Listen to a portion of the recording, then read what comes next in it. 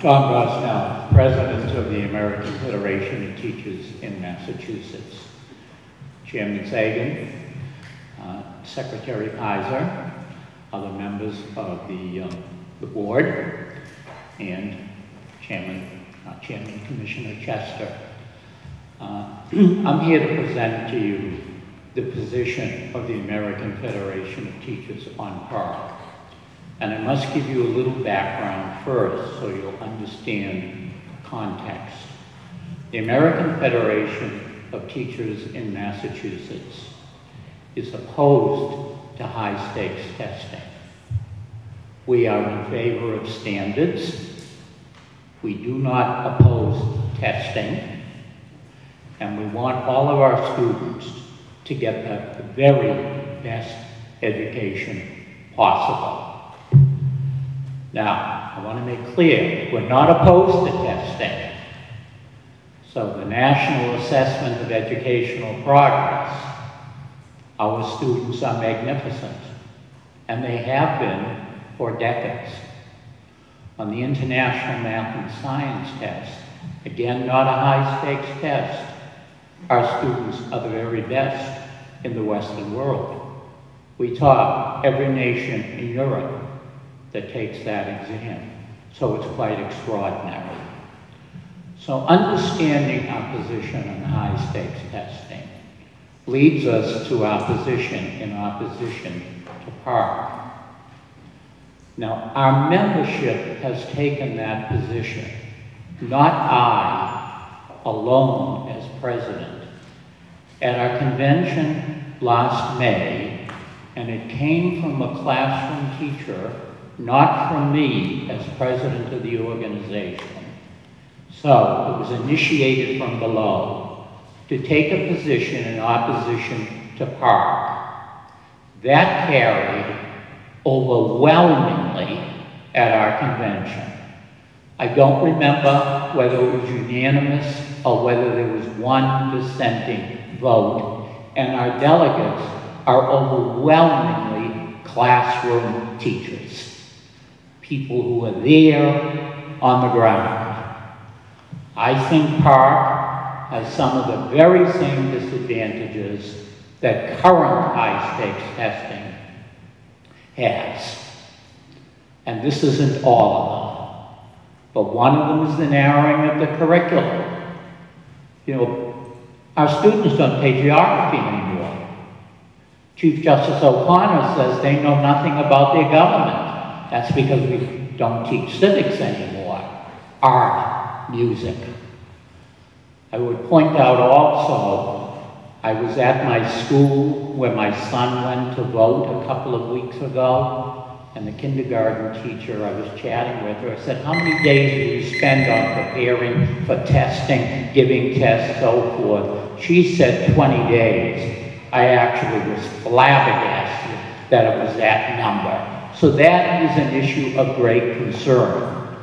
I believe the PARCC brings those very same issues. And I think there is a real issue about technology.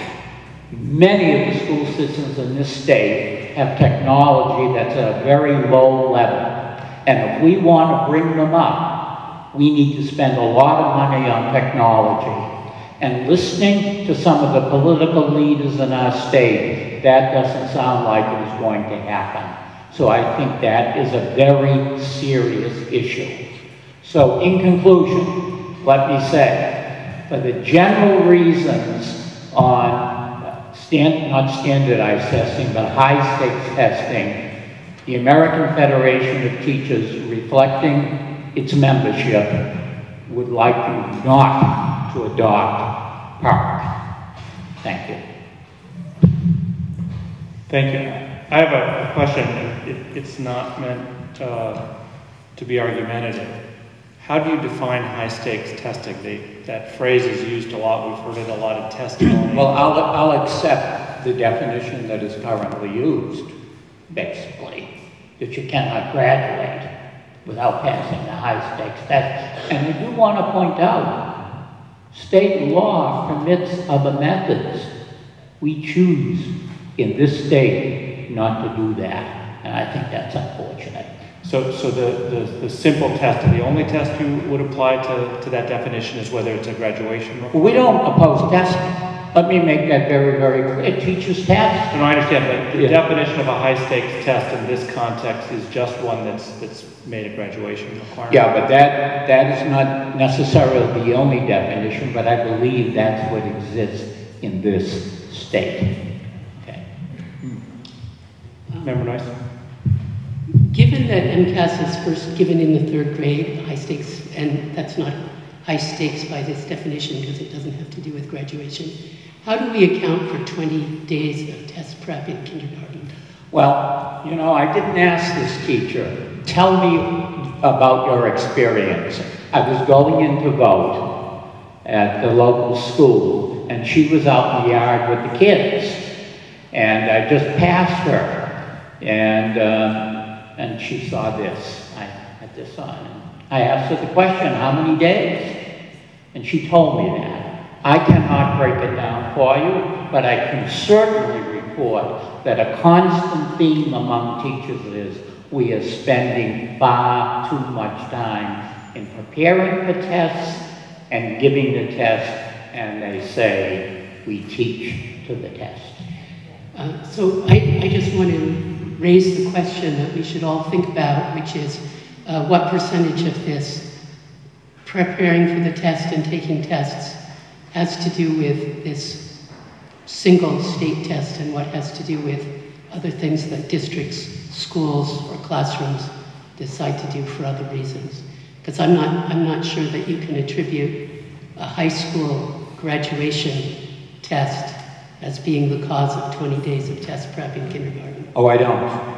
Oh, I absolutely do not. There can be local tests, there are federal requirements. I don't say the high stakes test is doing that. It is part of it, and it's a good part of it. But it is certainly not just that. I mean, right now in Washington, there's big debate over whether the uh, federal government should be requiring all these tests. It's all part of the Title I uh, discussion and the funding of renewal of Title I. I would make one last quote, and that's from a man with whom I have had much disagreement, and that's the Federal Secretary of Education, where he said something to this effect, testing is sucking the air and the joy out of the classroom. I concur with him on that. Thank you. Thank you.